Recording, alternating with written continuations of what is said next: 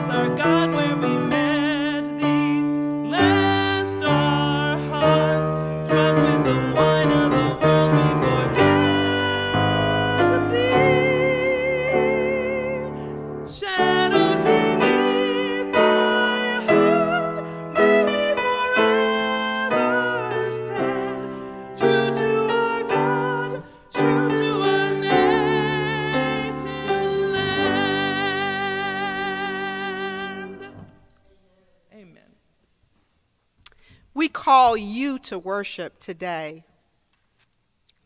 Ajani, Yazi, Roman, Kai, Josiah, Denise, Wei Jin, Joe, Edith, Jade, children, worship leaders, young, the old, seasoned, matured, vanilla, crimson, chocolate ebony united. Something made the hair stand up on our necks. Was it you, O oh God? Was it you that we saw blowing over the water? Was it you that we heard in those steps? Was it you that we felt in the beating of our own hearts? Was it you that called our names? Was it you that called our names? Come, O oh God, come to search us, come to know us again. We were knit in your womb. We have tried to count your works. Come, O oh God, so that we can hear you calling our names here and now.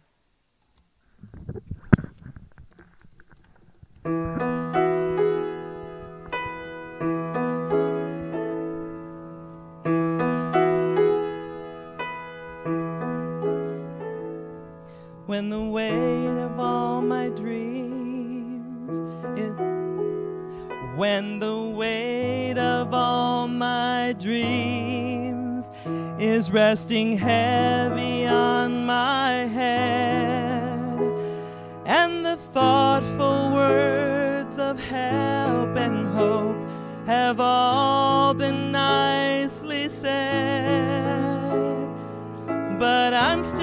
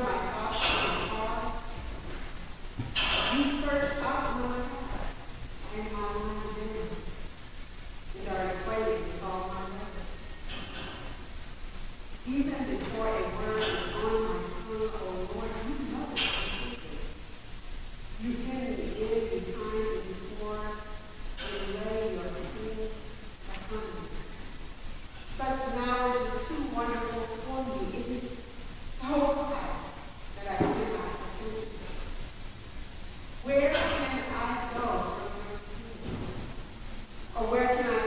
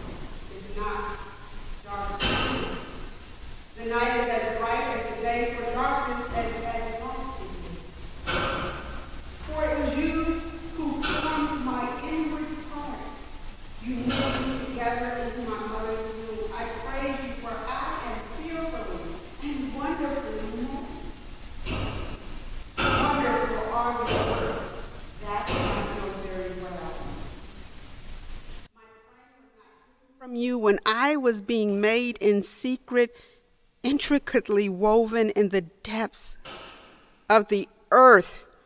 Your eyes beheld my unformed substance. In your book were written all the days that were formed for me, when none of them as yet existed. How weighty to me are your thoughts, O God, how vast is the sum of them. I try to count them they are more than the sand. I come to the end, I am still with you. May the Lord add a blessing to the reading of God's holy word. Let us pray. Dear Lord, thank you for gathering us to this space that connects us to you, that reminds us of who we are, that calls us to this journey. May the words of my mouth and meditations of my heart be pleasing unto you, Lord and may those who are listening be blessed. In Jesus' name, amen. We've been doing a series called Finding Our Way. Finding Our Way. And today we are on part three of that series Inescapable Love. Inescapable Love. Recently, I was lamenting with another church over the loss of their church due to fire.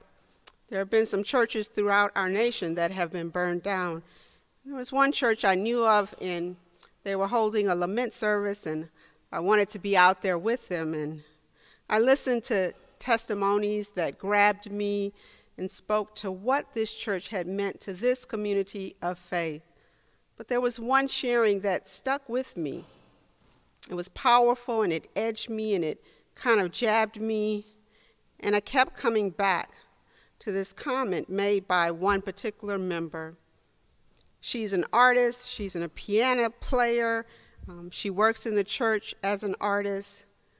But she said until she came to this church, she had never been told that she was loved by God just as she was. And those words I can't shake. That here she is, she had lived all the way into her early 40s and had never been told that she was loved by God just as she was. In Psalm 139, we hear a strange and mysterious message that God knows us in a way that no other person does or can. We hear that God is acquainted with all of our ways. That might be good or bad. God sees through the barriers we construct and the personas we put on Verse 14 declares that we are fearfully and wonderfully made. Wonderful are your works. We see this wonderfully made in babies as we coo and ah, not so much in teens, not in adults, and almost forgotten in seniors. But in all stages and in all bodies and in all ailments, we are still wonderfully made. This psalm assumes an intimacy with God. You know me when I sit down and I rise up. You discern my thoughts from far away. You search out my path and my lying down and are acquainted with all my ways. Even before a word is on my tongue, O Lord, you know it completely. You hem me in behind and before and lay your hand upon me. Such knowledge is too wonderful for me. God sees beyond the darkness that we might perceive within ourselves and others. And in God's knowing of us in this intensely intimate and personal way, God continues to love us. I consider that inescapable love. The psalmist continues on Where can I go? Where can I flee from your presence? How do I get away from God? If I ascend to the heaven, you are there. If I make my bed in Sheol, you are there. If I take to the wings of the morning and settle in the farthest limits of the sea, even there your hand shall lead me, and your right hand shall hold me fast. If I say, Surely the darkness shall cover me, and the light around me become night, even the darkness is not too dark for God. The night is as bright as day to God. You can't get away from God's love, people, no matter where we go. Even if we feel lost, God's love is there. Inescapable love. Some of us as kids grew up without the advances of technology, which means we had a lot of room to, for creativity and imagination. And boy, did we. Me and my cousin Kenneth, we played a lot together. We had a lot of games, and he cut me some slack sometime as a boy because he was really hard. We had all kinds of games we played. One game, we had a German Shepherd dog, and he would be down in the yard, and we would open and slide the window up, and he would come running toward us. And this was not a nice dog. This was not a play dog. This was a guard dog. And as soon as he made it to about the third step, we'd slam the door. Then we'd wait for him to go on back down the steps to the yard, and we'd start this all over again. Somehow we got a little bit of joy out of that, always knowing that the window pane was a barrier to us and him. But there was another game we played that I'm a little bit ambivalent about. I enjoyed it, and then I didn't enjoy it. We had this game where we tickled each other. You know, when you start to tickle someone, at first it's a lot of fun. You're laughing uncontrollably. You're like being tickled, and you just can't control it. It's like you're laughing so hard, it feels like your insides are coming out. And there's just so much pleasure. And then it gets to a point where you just feel like you can't take any more. And you tell the person to stop. But stop is seen as a green light. So the person just keeps on tickling you. Stop, I can't take it. And the person just keeps on. Sometimes tickling can be hard and it's like you're trying to escape. But you're defeated. And so you find yourself unable to get away from the tickler and the tickling. And even when we do not feel worthy or deserving of God's love, it's like the tickle, it's still there, it's inescapable. One of my colleagues, Nadia Bolz-Weber, had a visitor at her church who was leery. It felt like he was carrying a heavy burden. He would come to their worship, but he would leave soon thereafter. But each week he came back. And one week he found the courage to seek out the pastor and visit with the pastor for a while. And his first words were, If you knew me, you would not like me. Oddly, even with all that was at stake, he eventually shared with the pastor that he was a sexual perpetrator. He expected at that moment to be thrown out of the church. My colleague, herself on the fringes, explained that it was only her job to share the good news. Judgment was not her occupation. For sure, there would need to be some boundaries, and they would need to make sure that everyone was protected. But this community was for him also. This inescapable love is for you too. No matter how unworthy you feel, no matter how you feel at all, this love offered by God is inescapable. My Baptist church in rural Virginia would sing this song with further, Oh, how I love Jesus.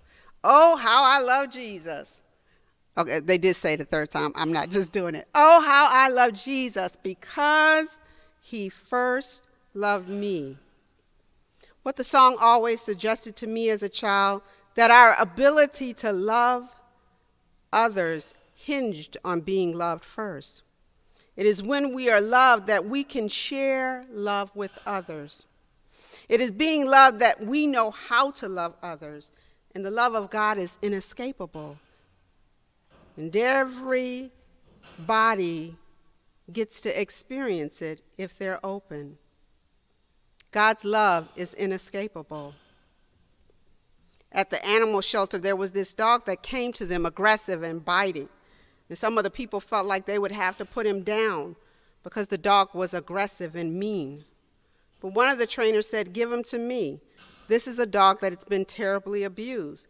And before we can say we want to put him down, we have to give this dog another experience. And so this trainer took the dog home and began to shower the dog with love, began to treat the dog with kindness, And within months, two months, when he brought the dog back, people were amazed. They didn't recognize the dog. A good haircut, a good dog grooming, and the love he had received had transformed this dog. You see, he had to be loved before he could show love that was in him all along.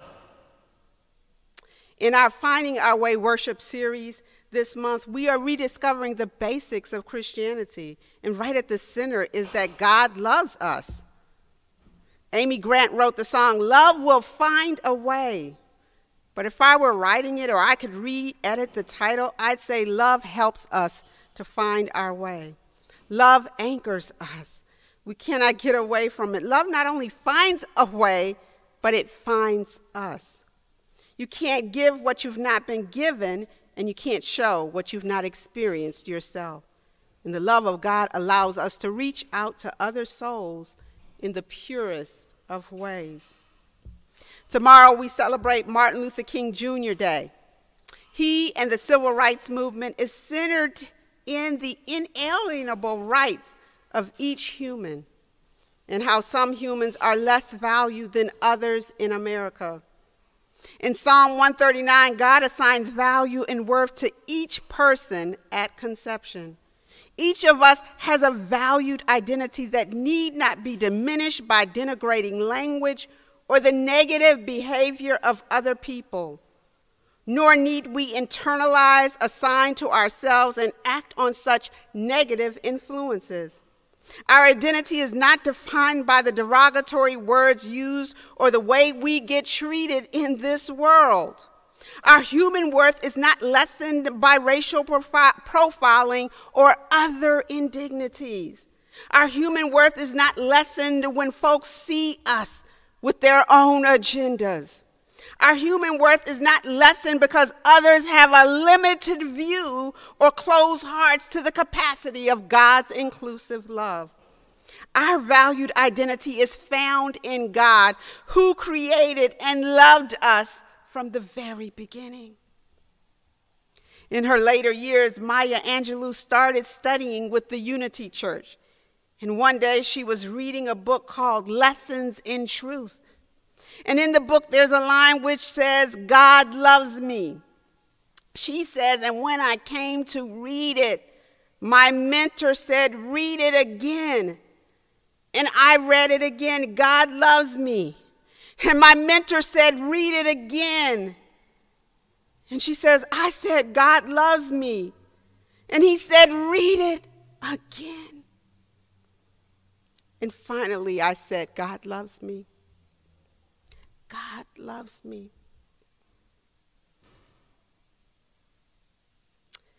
Angelou, Angelou, at that moment, began to feel emotional and leaned over for a moment to gather herself.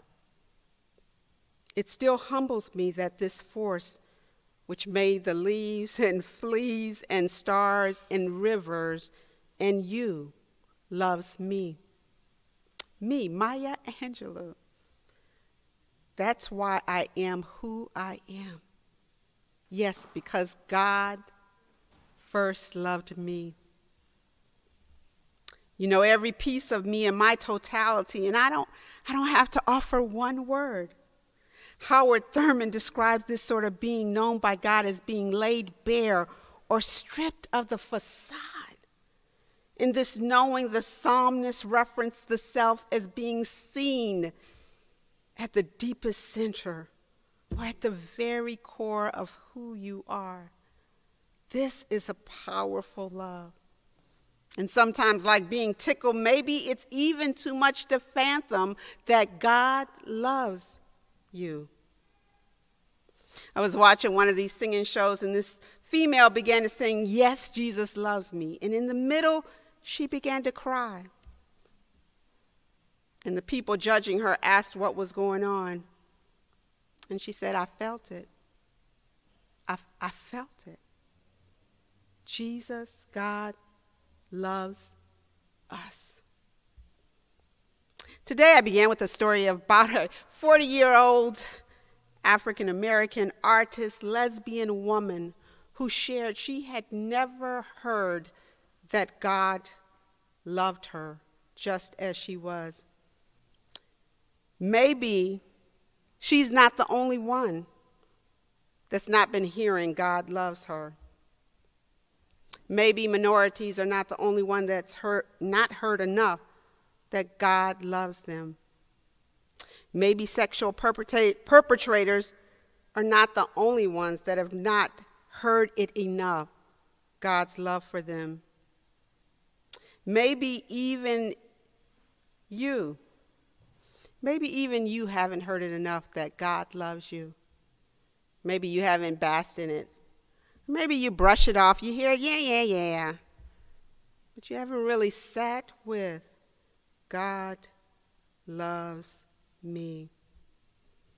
Maybe you're short on a counter of the closest kind. Maybe you've drifted away from just how much God loves you. Maybe, like the sun, it's hard to look straight at it. God loves me. But it doesn't make it any less true. God loves you. God loves you. I want to end today with inviting you to say that, because Maya Angelou shouldn't be the only one that gets to say it. God loves me. Come on, y'all, say it with me. God loves me. Let's do it one more time so you can really feel that and sit with it. Just sit with it. God loves me. Amen.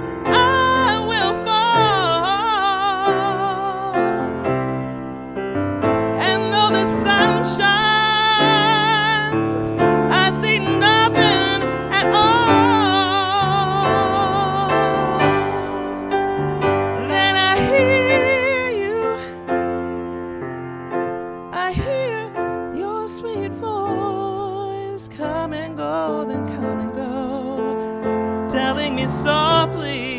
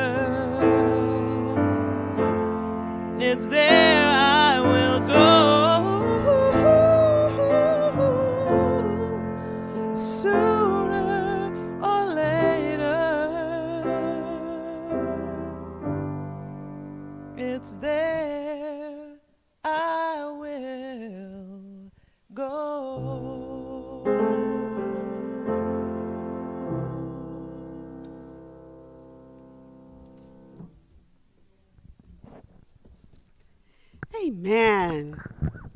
It is offering time.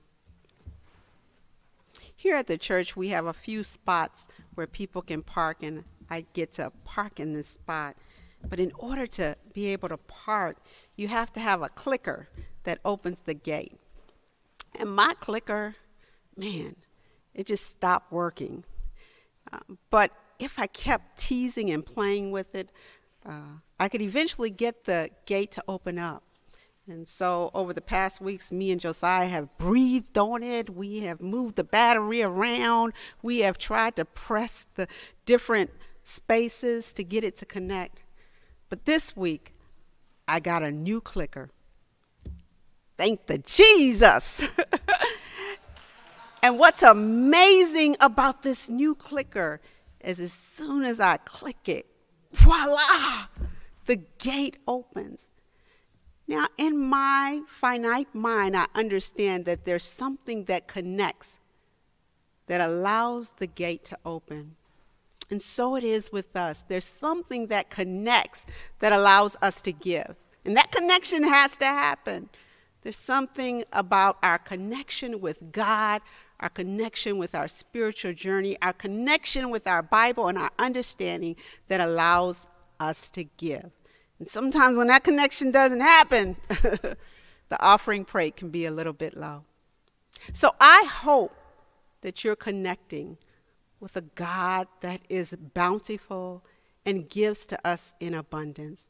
I hope you're connecting with the God that loves you so.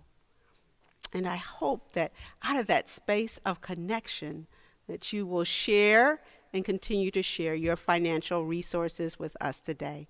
We invite you out of deep roots and deep connection to share your financial resources and to give today. Amen.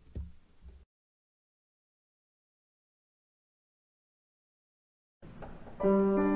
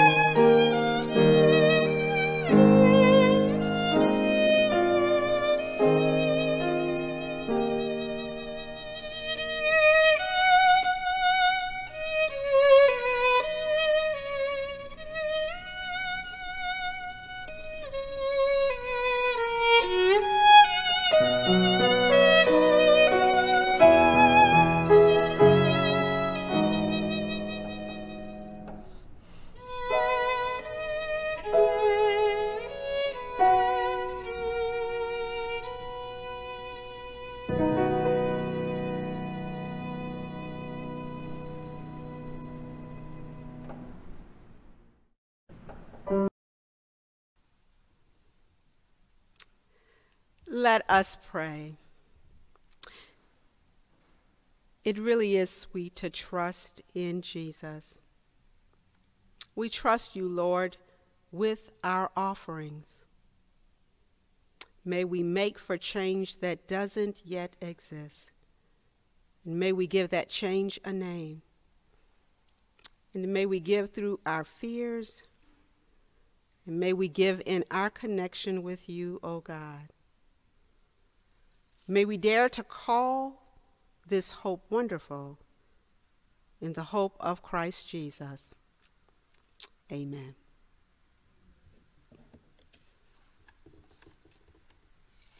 Well, good morning, United. Good morning. We are. so, uh, uh, we are trying to acknowledge and remember people's birthdays this year, and we just want to say happy birthday. We are so glad that you were born. Uh, this month so far, Judy Lampkin had a birthday January 3rd, and uh, January 10th, Janelle had a birthday. And January 10th, last Sunday, Edith Yokley, our violinist, had a birthday. And January 16th, Lydia had a birthday. And today, guess whose birthday it is? You wouldn't guess. It is Wei Jin's birthday, and so we wish him. Yeah, he had to come to work anyway, so. And this Saturday will be Stephanie Ull's birthday. So please share love. I'm sure all of those people would appreciate a happy birthday no matter when we give it. We say happy birthday. In different times we would have cake, but we tell you to eat your cake without us. and happy birthday. I want to remind you all or tell you for the first time that our annual church meeting will be February the 8th at 7 p.m. Please put that on your calendar, February the 8th, 7 p.m. We will be on Zoom and you will get that information. As it relates to concerns this morning, one of our uh, friends that's been coming for a while, Mina, um, one of our seminary students from South Korea, is under weather, so we ask that you continue to lift her up in prayers. Um, I checked in with her this week, and still she's not feeling good her whole household also came up COVID positive. She's managed to be negative, um, but sh- that caused her to have to live somewhere else in cold conditions. And um, so just continue to pray for her and lift up her spirits um, as well. As well, Georgetta Cooper, who's also a dear friend of ours who attends worship when we were worshiping, um, is at the University of Chicago and um, uh, suffered a mini stroke and will have to go on to rehabilitation. So please, uh, she does not want to receive phone calls because phone calls take energy, but um, let's lift her up in prayer. If you know of others that we can be praying for or concerns, please let the secretary know. You can call during the week and leave a message anytime. We've been doing a podcast called Crooked Courage, and this past week we got to launch Jeffrey Campbell, which is a guy that has been on 53rd Street homeless and uh, we launched that video this week and um, have been getting a lot of positive feedback. We encourage you to look at the video because people have been wondering where did he go. Sometimes when we see people that are homeless and in rough conditions and we don't see them, our minds can drift. And so he is doing really, really well. And so I just encourage some of you that have walked 53rd and know Jeffrey to watch the video and listen to his testimony. God really is good. Just a reminder that on this week, Contemporary Issues, which will which often reads a book, they will be meeting on this week, January 21st at uh, in the at 11 a.m. They are reading the book Deadland by Sara Paretsky. Um, I think they've met one time before, so they may be a little ways in, but feel free to join them as well uh, on Thursday. And then, last but not least, you all know that this Wednesday is the inauguration of our president and vice president. And so just invite you in your prayer time to lift up that day and to lift up that event and um, to lift up peace uh, in our world. Uh, I think that's about all that I want to say.